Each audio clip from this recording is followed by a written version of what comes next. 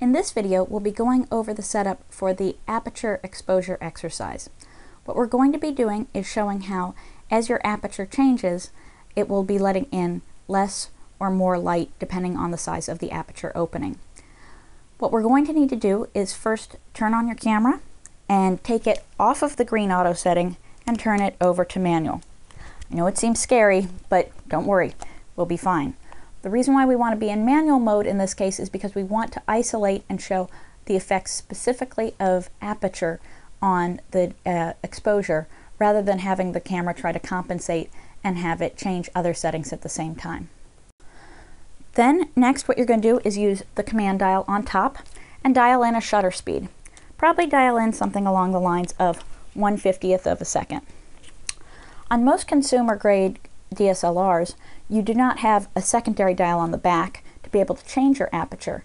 In fact, what you need to do is press, to change the aperture in manual mode, is press the plus minus button, which sometimes also has a little symbol of a, uh, a actual aperture diaphragm on the inside of the camera there.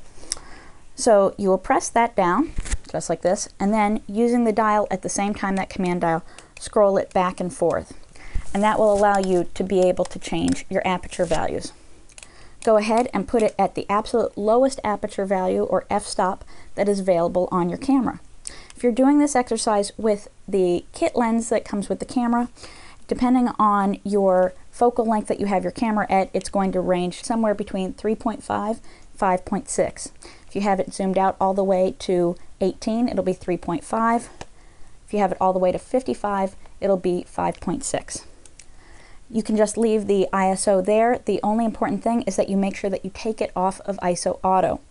If it wasn't already on a selected one, you'll go in, if you're using a Canon camera, just click on the, press on the ISO button, and then go ahead and scroll to something that is any basically ISO setting other than auto. 800 is a nice place to go for this particular uh, exercise. Once you've done that, that's great. If you have a Nikon camera, you're going to have to go into the menu and take it off of the auto setting and then go ahead and set independent of that what the actual ISO that you want to do, uh, want to set is. From there, what you're going to do is bring your camera up to your eye and take a shot. Go ahead now and change your aperture value to a higher number, say two or three clicks higher. Go ahead, take the shot. Go ahead, keep going, the same exact pattern. Pressing down that plus minus button so that you can then increase the f-stop value. What you're doing as you're going along is by making the f-stop value higher, the size of that hole is actually getting smaller, and so it's letting in less and less light.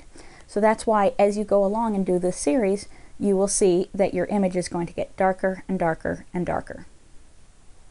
Go ahead, do this whole exercise all the way until you reach F22 and you will have completed the aperture exposure exercise.